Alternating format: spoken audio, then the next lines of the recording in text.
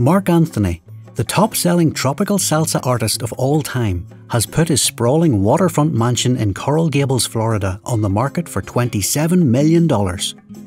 The Italianate estate, known as Villa Costanera, is an impressive modern Mediterranean estate, and it is one of the largest homes in South Florida, spanning almost 20,000 square feet.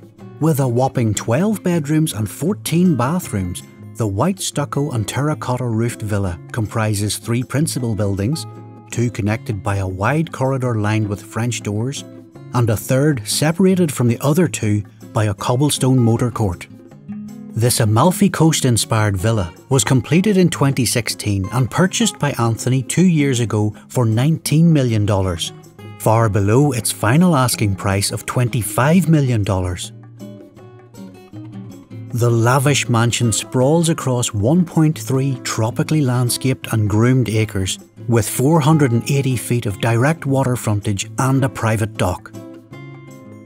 The unique architecture by renowned architect Rafael Portuondo allows natural light to radiate through every room. The massive living room remains awash in a soothing palette of creams, beiges, and natural woods beneath a soaring coffered ceiling. Comfy, deep cushioned sectional sofas, ultra modern barrel chairs, and a chic mirrored coffee table give the room a relaxed feel, while towering arched French doors facilitate an elegant transition to the gardens.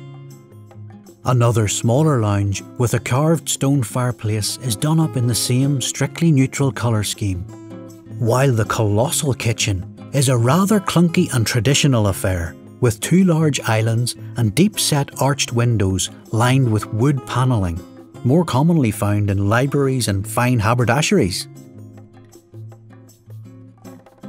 Hazarding to guess the number of arches in and around the home might just land you in triple figures. There are more than a dozen, five of them in the form of a colonnade around the snazzy zero edge swimming pool and spa the latter of which is accented with vibrant blue and yellow tiles. There's also an outdoor kitchen and a great sweep of lawn sprinkled with swaying palm trees. Anthony's acquisition of Villa Costanera came on the heels of him swallowing a million dollar loss on the sale of a sumptuous mansion in the Los Angeles neighbourhood of Tarzana.